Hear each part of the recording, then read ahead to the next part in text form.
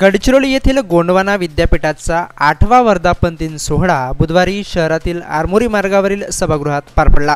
या सोहळ्यात मेंढालेखा गावाला सर्वप्रथम वनहक्क मिळवून देणारे समाजसेवक देवाजी तोफा यांना जीवनसाधना गौरव पुरस्कार देऊन सन्मानित करण्यात आले. याप्रसंगी उत्कृष्ट प्राध्यापक व विद्यापीठातील कर्मचाऱ्यांनाही पुरस्कृत करण्यात आले.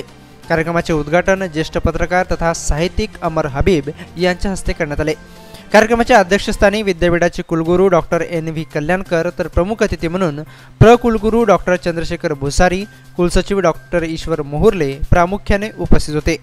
याप्रसंगी गोंडवाना विद्यापीठाच्या वतीने उपस्थित मान्यवरांच्या हस्ते देवाजी तोफा यांना जीवन साधना गौरव पुरस्कार देऊन सन्मानित करण्यात आले.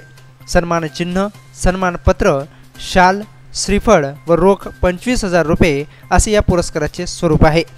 सत्कारानंतर मनोगत व्यक्त करताना देवाजी तोफा यांनी हा माझा सन्मान नसून माझ्या संपूर्ण गावाचा अर्थात परिवाराचा आहे. महात्मा गांधी यांच्या ग्रामस्वराज्य संकल्पनेतून आम्ही मेंढालेखा ग्रामसभा स्थापन केली. आदिवासी हा निसर्गावर प्रेम करणारा व निसर्गाच्या सानिध्यात जीवन जगणारा एक सुसंस्कृत समुदाय असल्याचे त्यांनी नमूद केले. कुलगुरू डॉक्टर एन. व्ही. कल्याणकर यांनी शासनाकडून नवीन सात पदव्युत्तर शैक्षणिक विभागांना पदांसह मंजुरी मिळाली आहे. विद्यापीठाच्या जागेचा प्रश्न लवकरच निकाली निघणार असून विद्यापीठाला हक्काची जागा मिळेल.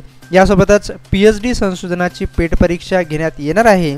त्यामुळे विद्यार्थ्यां विद्यापीठामध्ये संशोधन कार्य होण्याचा मार्ग आता मोकळा झाला असल्याचे नमूद केले.